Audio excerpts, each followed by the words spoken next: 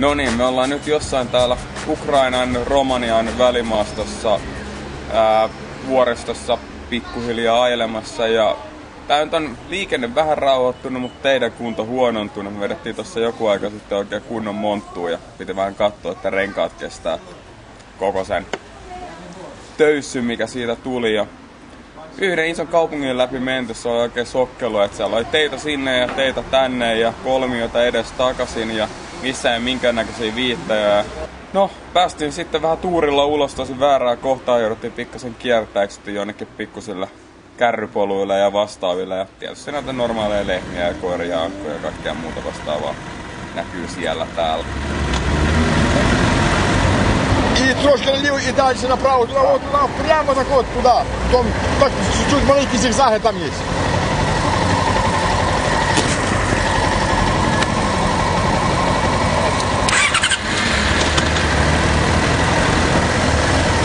Eli suoraan ensin ja sitten... Tätä se varmaan tarkoittaa vasemmalle. Joo.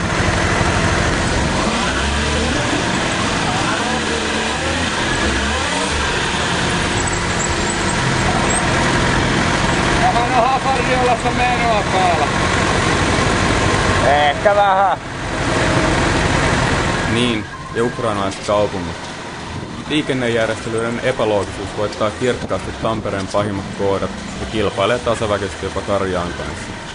Vai miltä kuulostaa opaste, joka kehottaa kääntymään vasemmalle, ja kun vastaan tulee T-risteys, ei ole viitan viittaa. Olo oli vähän kuin labrarotalla.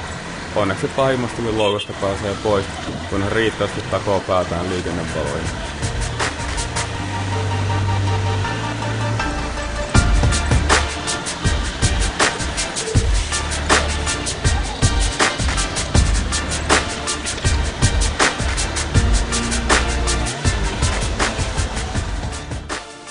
Nyt seuraavaksi pitäisi lähteä vähän vuoristoon leikkimään, ajelemaan sinne pikkuteitä ja sen jälkeen takaisin vähän isommille teille ja painutaan sinne Linnakessaarihössä. Käy vihdoin viimeistä, kun pystyy hypätä ja muuta. Saadaan onko aikaa siihen.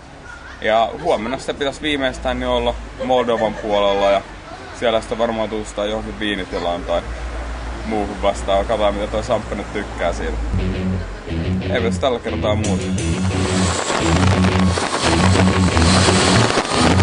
Vuoristopätkillä fiilis muuttui totaalisesti. Makeita maisemia solatoi perään. Pienen ongelman muodossa, yllätys yllätys, itse tie. On se vaan niin ihanaa ajalla vuoren rinnettä vastapäällistettyä tietä pitkin, kun ilman pienintäkään varoituskylttiä jyrken kurvin takaa paljastuu auki revitty tie kivipohjinen. Taitaa olla iskareiden valmistajalle hyvät loppaajat hallinnassa. Toisaalta Nella kehui vehkunsa olleen paremmassa kunnossa kuin aikoina.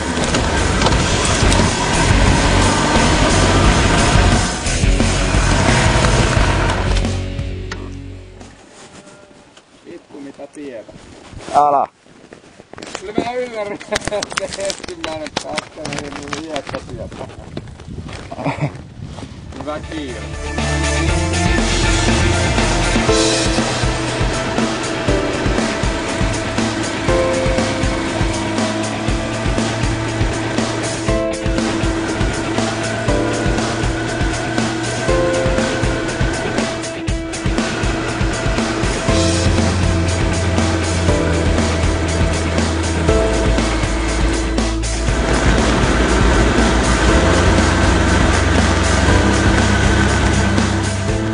Mutta ei pitäisi valittaa. Tätähän me tultiin hakemaan. Hiukan haastavampaa reittiä omina potholeineen ja sitäkin makeimpina maisemineen. Ei kaiken makean pidäkään olla helppoa. Viimeinen yö Ukrainassa menikin mukavasti kartanoon tehdyssä hostellissa, kaupungissa, jonka nimi on aivan liian vaikea lausua. Kaupungista löytyy myös satoja vuosia vanha linna, upiina käytävineen ja sopivine paikkoineen ottaa Jallu Around the World kuvia. Liian vaikeasti lausuttavan kaupungin linna on alun perin 1300-luvulta ja rakennettu suojelemaan kauppareittiä vallottia vastaan. Homma tosin ei hoidettu kunnolla, vaan linna vaihtoi omistaja useaan otteeseen. Ja muinaiset bla bla bla bla bla bla bla bla bla bla bla bla bla. Nykyään linnoitus toimii museona ja on vierailun arvoinen turistirysä.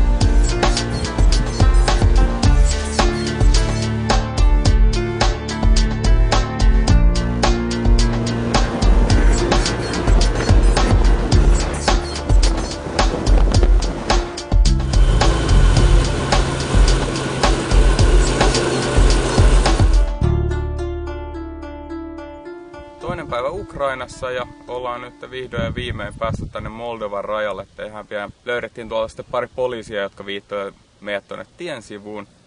Ja no, en mitään ajokortteja halunnut katsoa sitä, vaan lähinnä sen, että kuinka paljon pyörät maksaa ja kuinka lujaa niille pääsee. Ja ne nauraskeli meidän Snellalle, joka on nyt mököttää tällä hetkellä tuolla tankkilaukussa. Hän on siellä piilossa. Haluatko näyttää? Se on aika ikävän näköisenä siellä.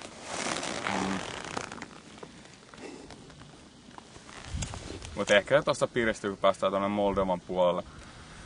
Mutta ei tässä kummempia, aletaan katsoa mitä rajan takaa löytyy sinne päästä. Päästään tässä pikkuhiljaa.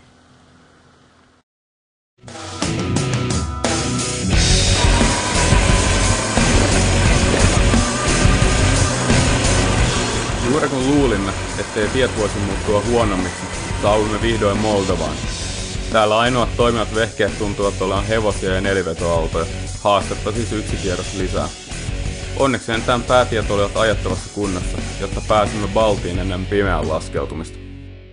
Täällä on kivaa, täällä on halpaa, kaikki rahat mennyt, kohta pitää nostaa lisää.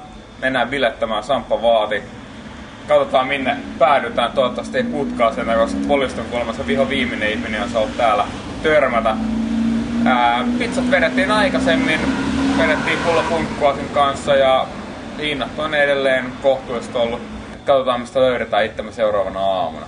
Eipä tässä muuta kuin vedetään pullo loppuun ja pääntää klubille.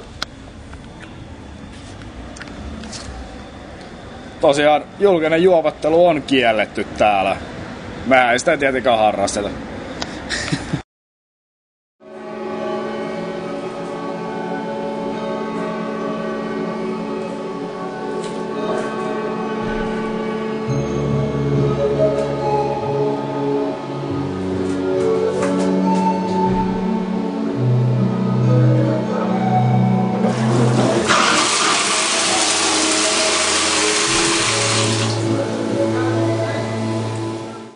Mielenkiintoisen yön jälkeen pääsimme jälleen tutustumaan paikalliseen liikennekulttuuriin, johon kuuluu muun muassa sekakaisten käyttö. Käytännössä autot siis ajat sillä puolella tietä, missä on vähemmän reikiä. Noin muutoin liikenne tuntuu aika sopivalta, kunhan muisti pitää katseen tiukasti tiessä. Toinen päivä Moldovassa sujuukin rennoissa merkeissä, muutamille hiekkateille eksyessä ja moldovan kielisiä ajo kuunneltaessa. Viinialueiden läpiajelu on sinänsä kiusallista, ettei niillä pievästämiseen ollut juuri aikaa. Toisella kertaa sitten. Viimein löysimme reitin Orhein lähellä olevalle luostarille, jonne olla makeaa solalaskevaa tietä pitkin. Tosin eksimme jopa perille hiukan paikallisen kylän raiteille, mutta ei ollut ensimmäinen kerta.